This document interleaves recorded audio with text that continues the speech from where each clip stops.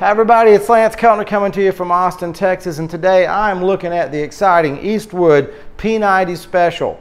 It is TV colored, as you notice, like some of the cooler 50s guitars.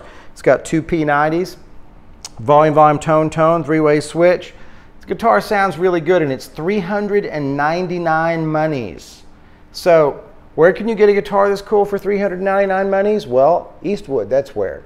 So the cool thing is that you can pick this guitar up from the guys over at Eastwood. It sounds great. Plug it in. It looks rock and roll. It's like a double cutaway junior. I love this thing. I would play this all the time. I'm going to show you what it sounds like with the band right now. So stick around and we'll be right back, okay?